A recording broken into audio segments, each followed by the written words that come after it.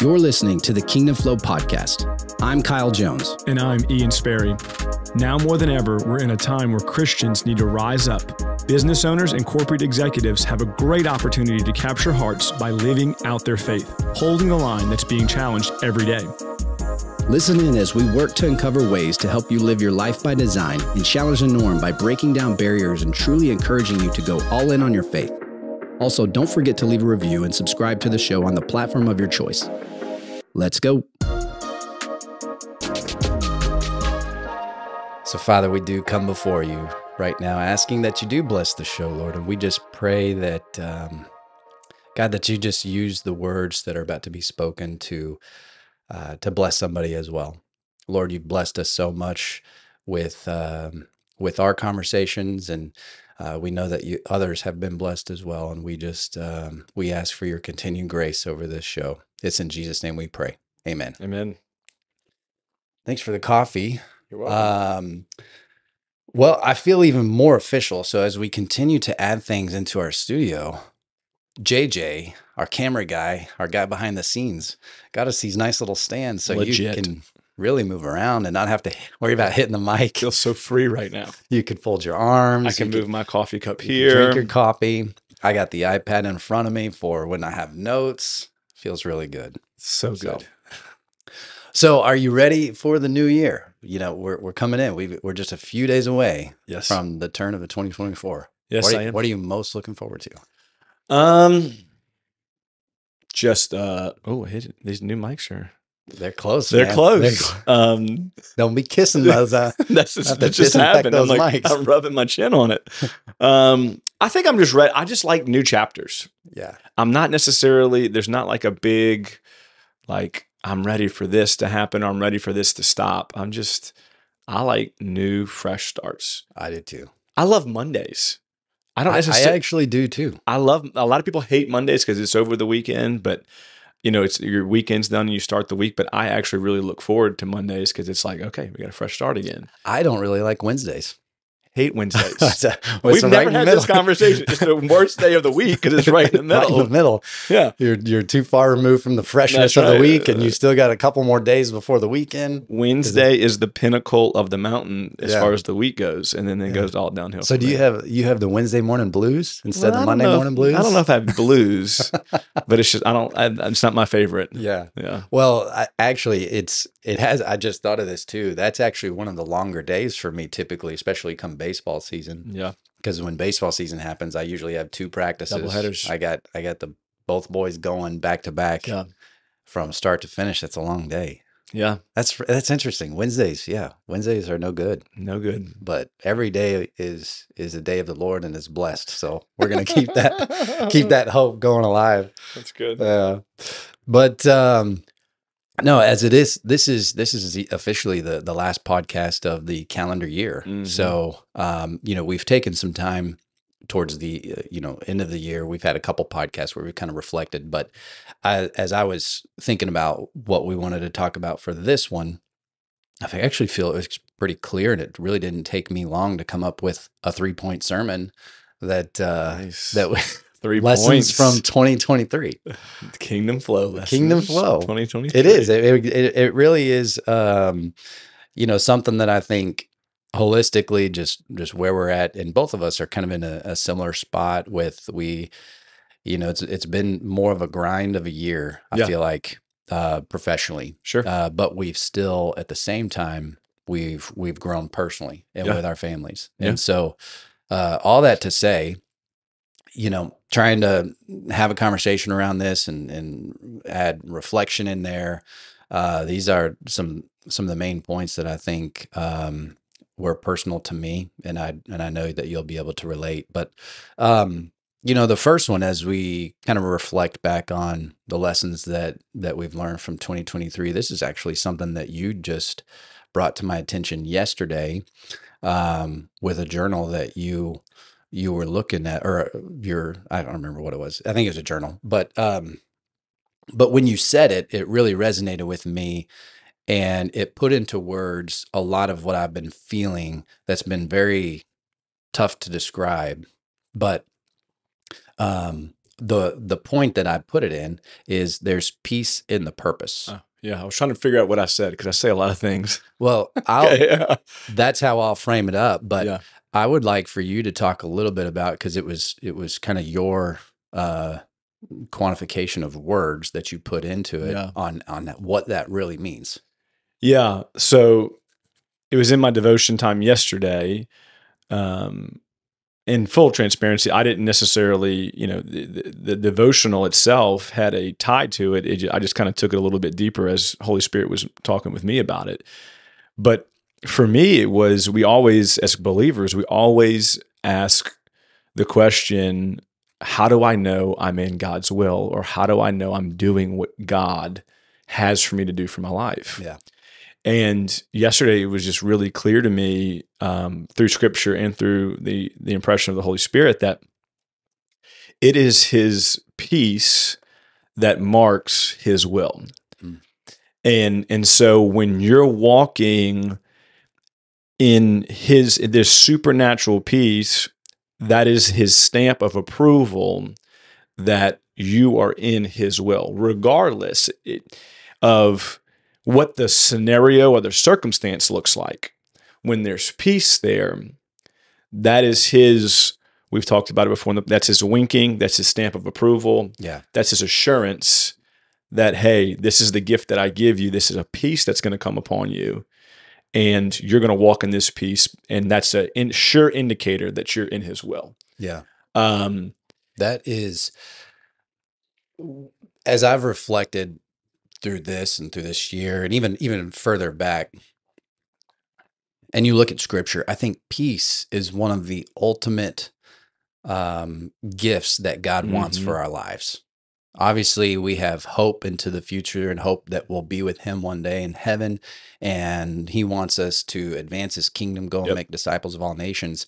But I think at first, if we're not at peace with ourselves and with God and our families, it's going to be hard to do all these other things. And I think uh, peace is one of the the most gratifying things that I've come to find in my adult life that it was one of those things I didn't know what I was missing until I had it. Yeah. Like true peace. yeah. And I think that's where I am.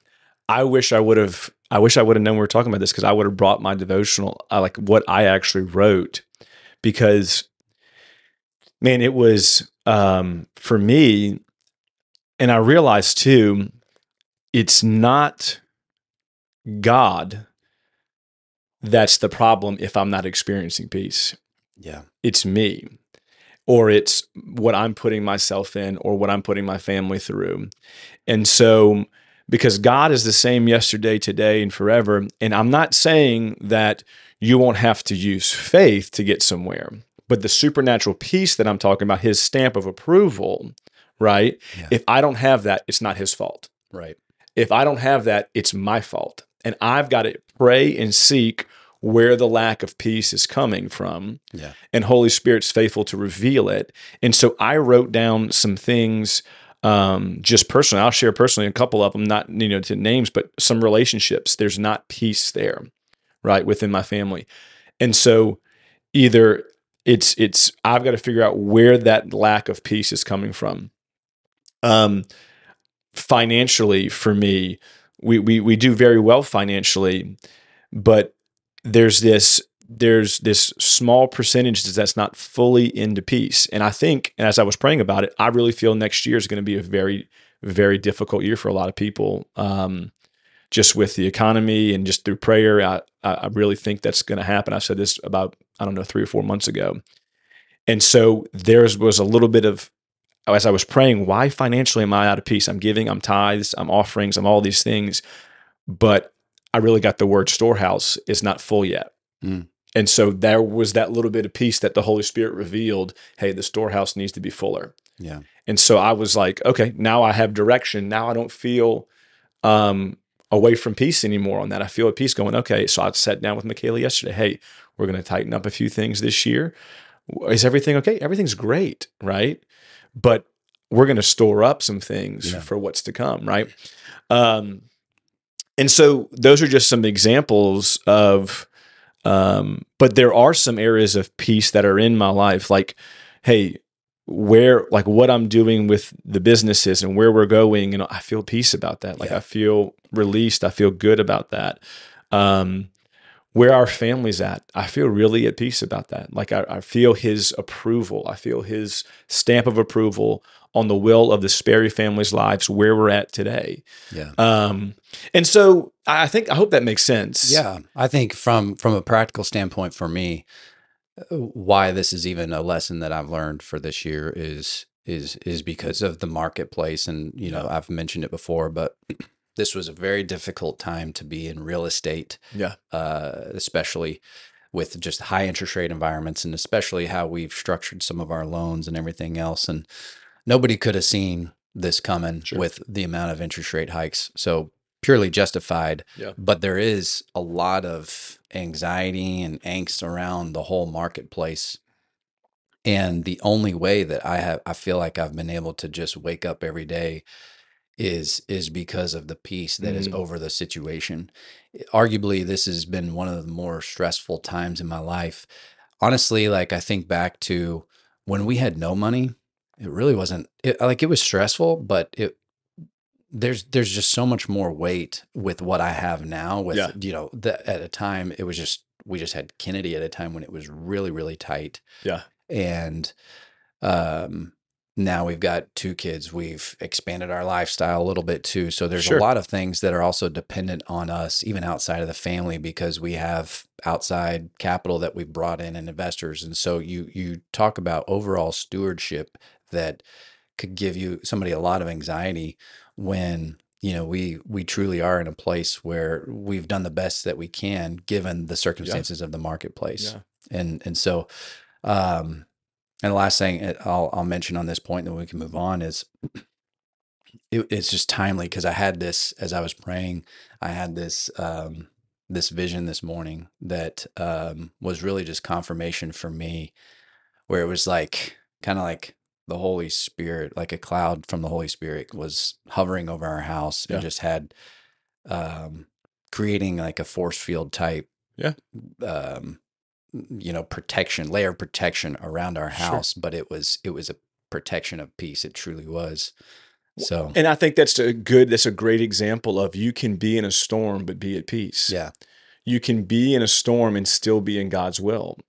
You can be in a Mhm. storm. I think you've done a great job handling it this year. You know, I know a lot of people based on their personalities, based on, you know, um, their their lack or their, you know, where they're at with the Lord, that this would very much Mhm. you know cripple a lot of people and so um when when his peace it hasn't been easy. well no it has It- not but it has been peaceful. it's been peaceful and Yeah. so that is that's again that's just a sign and a stamp of approval going hey you're in a storm the storm's not caused by me this god didn't cause the markets to do Yeah. this right but you're in my will you're going to walk we're going to walk this out hey i saw a picture of surrounding in peace it, we're going to get through this that's Yeah. that's the ultimate for me that is the ultimate it the Yeah. like the ultimate like high the ultimate um just just feeling of protection and safety when i go when i lay in my head and go there's Yeah. peace you know what i'm saying For sure, it's a stamp of approval Absolutely. So, first lesson was there's peace in the purpose. The second lesson that I think is very relevant for for us, it really anybody is understanding the season that you're in. And really, the the easiest way to describe it is there's, um, and this is not just for professional; it's personal as well. There's a growing season, and then there's a harvest season. Mhm. So growing season is kind of a think of it like it's time to grind. It's time to get your hands dirty, roll up your sleeves, Mhm. and go to work. Whether that's in your business, your your uh, your marriage, or you know you're working on transforming the hearts of your kids. You know Mhm. you're really trying to to to to till the land and, and work it. Yeah. And then the harvest is obviously that's when you get to reap some of the benefits of all the work that you've put in. Um, and I think there's even like there's this um, ebb and flow of growing and harvest that is always continual. Um, but if you look at the course of over like a you know two to five year span of years, and and we and we go back to what we've been focused on, whether that's again, that's business or personal, there is a time where we've got to really get going. We've got to we've got to work it. We've got to work the the the business. We've got to get in Mhm. there. We've got to show up every day and really just set the tone, set the culture, reestablish or or uh, you know, make sure that everybody knows the vision and reestablish the vision if you need to and just constant reminder. Um, and then the harvest is where you can kind of pull back a little bit from that. There's, you know, for me, what I think that looks like is there's more rest involved, Yeah. and and there's a the ability to have um, other opportunities to to to now bring in in that season. But um, you know, when you really understand the season that you're in, then you then you can kind of know how you need to approach your day on Yeah. a daily basis. Man, I think again, didn't know we were this is a great because this has been a huge one for me this year. I think one of the biggest potential pitfalls or dangers for an entrepreneur, for a business person, is thinking that harvest never runs out and the season of harvest is always ongoing. Yeah. To really identify the season, and I I did this this year through the help of a couple different people, but I have multiple businesses in realizing that just because multiple businesses are under one umbrella, you know, compartmentalizing them and re- realizing each of these different businesses, man, they're in different seasons within themselves. Right. And we've got to be able, as leaders, we've got, and this could be for department heads, this could be for people over, you know, that are managing other people. This could be for even homes, for moms, right? Like, hey, one of my one of my kids is in this season or this harvest season in their life. They're just things are things are firing all cylinders, right? And then another another one of my child or children is is in this season and we've got to be able so like we literally god is my witness. My wife and i were talking about this morning with our youngest luke. He's in a different season right now. He's in a very difficult sure is. he is a different and it's like hey you know um, we've got to really focus in on him and realize the season that he's in to make sure not to ignore the other ones but but to make sure that he is growing the way he should be Yeah. and I think that's the same thing when you're leading depart, uh, you know, leading different departments. Hey, one department may be doing well, but if you assume that because three out of the four in harvest, then that means the fourth is in harvest, you're gonna you're gonna wake up one day and go, oh crud, Yeah. we've had a big big drop off here, and and I didn't realize it because the abundance all around me Right. from the other areas. That was one of the biggest things for me this year was recognizing what season I was in and then attacking each of those groups in in in different ways depending on the season that they were in. Yeah. And that's uh like you were talking about. I think the the phrase I'm hearing, that's part of the dangers of not knowing the season that you're in is because you could be really trying to grind when it is truly a time to rest.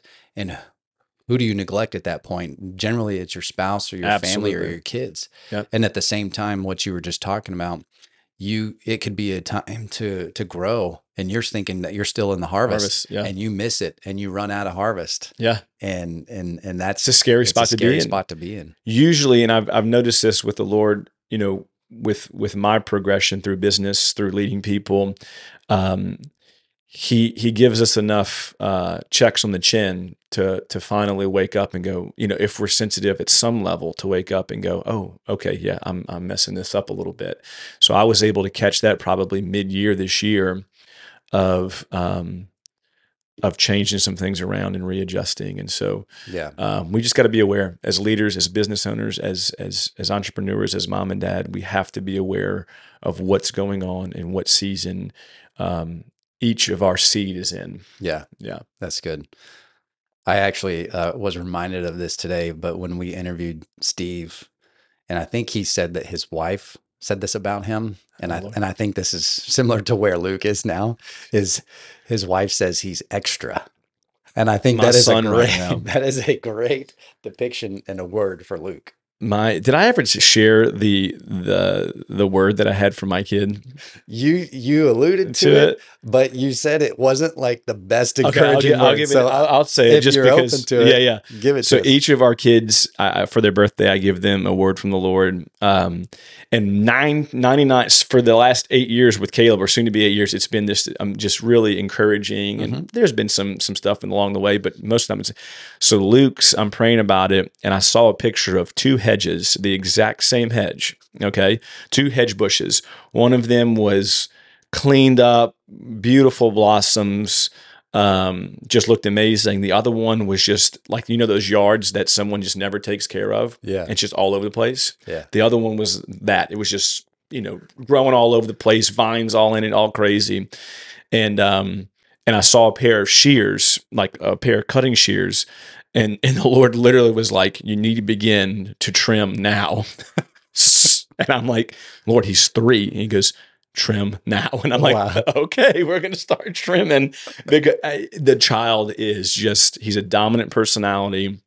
Um, he's intense. He's hilarious. yeah, but he's so sweet. At he's the same sweet time. at the That's it. same time. But he is—he's an intense right now. He's he's intense for mom and dad. He even reminded me we were hanging out last night. This was I don't know why I just got this picture too, but when he came downstairs last night and he, you know, his hair was wet and his like the shoulders were wet. And he's just like this was like at, you know, 7 8 o'clock at Yes. night. What he wanted to do was he just wanted to look handsome. He wanted to That's do his hair. says, yeah. But what he reminded me of is like when uh when the guy on Step Brothers walks out after he was drumming the drums and he's just soaked in his sweat and he's just breathing hard. That's that exactly- was that was what Luke. Luke. looked like last night. you know it's it's every this morning was a, a rough one too so anyway not not to you know get on him all day That's but funny. but yeah he's in a different season Oh, so peace in the purpose. Yeah. Understand the season you're in, and the last one that I think, uh, which we have done some episodes on this too, but uh, I was just reminded of it of how critical vision is. So vision is critical. Yeah. And you know, there's a lot of verses that we can point to that highlight vision, and um, you know, there's some famous ones. The one in Proverbs. Uh, I think there's another one in Habakkuk. Yeah. That um, says, you know, write the vision, Yeah. make it plain. Plain. But I think one of the biggest things, um, or one of the ones that kind of gets overlooked, that as I was reflecting and thinking about, for me, keeping my eye on the vision for this year, especially in the turmoil of the professional world, was in Haggai when he, was talking about the the former days are Yeah. going to be or the for, remember the glory of the former days but the days ahead of you are going to be greater i'm paraphrasing of course but it's you know it's deep when you're going to Haggai. It's- well there's two chapters Yeah, and it, it really is that's why i think like- Uh, yeah he he gets overlooked but he was haggai's one of the prophets Yeah. that basically prophesied the second temple to be rebuilt Yeah. and it's if you think about what was happening at that time where you know the israelites were you know they were just kind of sulking in their sorrows because Yeah. they lost the temple because Mm. of their own behavior Yeah.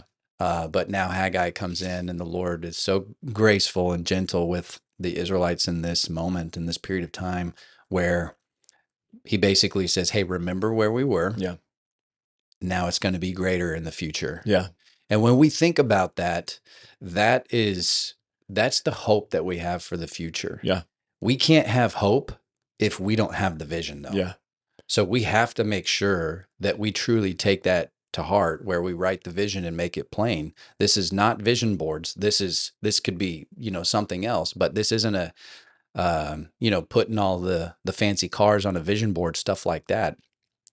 Um it's it's making sure that it's very clear on where you're headed long term. This Yeah. is kingdom thinking, it's legacy thinking, and then I think you know over the course of a couple years now you can you can start taking chunks out on how you're going to get to that vision yeah but if you don't have that vision then it's going to be a lot harder to keep some of these other things you're not going to have peace because you're not going to have Yeah. the hope that you want Yeah. and you're you're not really going to be able to understand the seasons as it ebbs and flows if Yeah. you're not you know living in a peaceful life but also it goes back it ties back to vision if you don't understand the vision and there's no clarity there then you're just going to have a bunch of family members going off and doing their own thing or like in the business world you're going to have a bunch of employees that Yeah. are just each trying to do their own thing and Yeah. they don't know what they're trying to do i can't remember there's a story i don't remember who was telling the story but um, it was supposedly there was some guy in at nasa that was walking through the halls and you know was just talking to various people he came across a janitor and i'm sure people have heard this story but there was a janitor that this person who was high level i think it was an astronaut that was um, i should have looked this up but he was high level guy the astronaut was and he's talking to a janitor and he asked him what he was doing because it was he was also cleaning the floors at like an odd time or something i think is the context if i remember correctly and the janitor says well we're putting people on the moon Mm. and it's just that's such a huge testament with that type of response when you have a janitor Mm-hmm. who sees himself contributing to putting people on the moon in that moment Mm-hmm. and i think that goes goes back to whoever established the vision during that time period made it abundantly clear on what everybody's role was to put somebody ultimately on the moon I think that's one of the hardest things for entrepreneurs, and I want I'm going to even caveat it even more in Christian entrepreneurs to do is because you you made a great point is to get a vision right is to get a true God vision because you know a lot of us have a lot of people have vision boards with you know the planes the trains and the automobiles where it's about things and what really God wants to do, I believe, in in in all of our lives, is write a vision. You said write a vision, make it plain. He wants to write it on our hearts. He wants to write that vision on our hearts to where, um, there is when you're in these moments that you're talking about when you're going through a tough time with the market. You know the vision. You go back to the vision, and it keeps the hope. It keeps the strength. It keeps you guys moving forward. Um, when you are in a rough spot with your kids, but you know where the vision is. You know the vision where God's bringing you. You see it, right? You know it. It's going to get you through those rough times going, no, no, my God's faithful. He's going to get us through this. And I think, too, once you re- receive a God vision, there's an excitement that happens. I know for me this year, and I won't share it publicly, but I, I shared it with you when I, you know, they had this, you know, this macro vision where I want, or I felt God was bringing me, but yet then there was this practical, like how I'm gonna get there micro vision that just like, dude, it just lit me up, Mm. right? It ex- it, it Yeah. made me excited. Like there was two nights I couldn't sleep because I was just I it was I was just I was so pumped up about it. I knew it was it was a rhema word from God. I knew on the heart of my soul that He had written on my Yeah. soul, and so, and then once you get that, not that faith um, is any easier, but faith is then activated when you get this this rhema vision or this vision from God, and you begin to walk out these things with your family, with your career, with your business, with all of these things. You begin to. I'm telling you, there's people listening right now that have had a business on their heart for decades, and they just have not done it. Yeah. They ha- they haven't walked it out, and and I think this year you know you need to begin to look at that vision and begin to practically take steps to seeing it come to pass. But when you have that and then faith ignites it um man it just it it, it just it feels different. It- Yeah. it, really does. And it really is the only way to describe it is it's it's from the lord. I just feel um, like I need to say this because we're filming this, uh, or this is launching on the, the last week of the, the calendar year. And I think there's probably some people that feel like they don't have a clear vision, Mhm. um, maybe even for this year, but I think long term. And I would just, number one, it's never too late. Mhm. I think just because we're coming into a new year doesn't mean you have to have everything completely buttoned up. You know, the good thing about um, our lives and is is yeah, we have calendar years and we have new chapters that that turn the page, but really like it doesn't matter. Like Mhm. start start right now, start where Mhm. you're at, and maybe set a goal for yourself over the whole month of January because you don't really want to rush this and you don't want to manufacture this. You don't want it to be man made. You want it to be God ordained.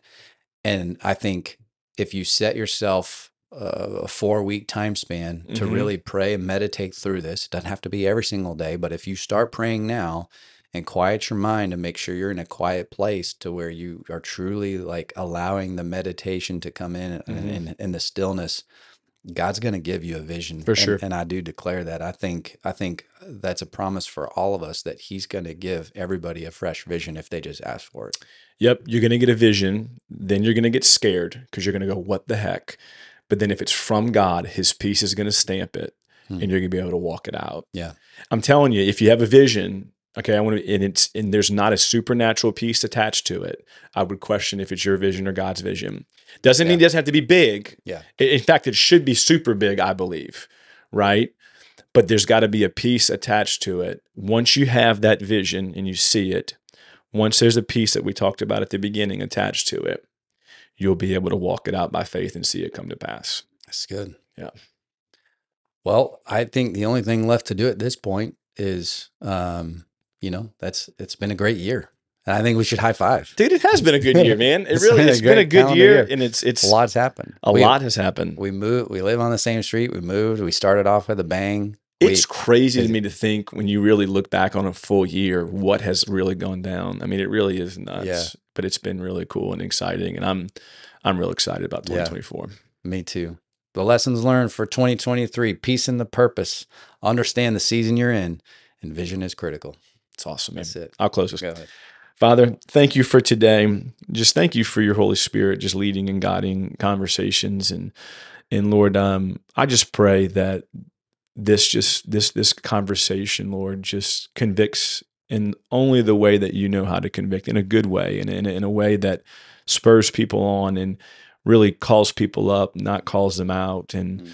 and Lord, I just pray for 2024 for those that are listening that it would be a year um, of clarity, that it would be a year of vision being seen and being acted on, Lord, that there would be a supernatural stamp of your peace, and that Father, um, that that the seasons that they're in, Lord, that they would be able to recognize it and be able to course correct and adjust accordingly to your Spirit.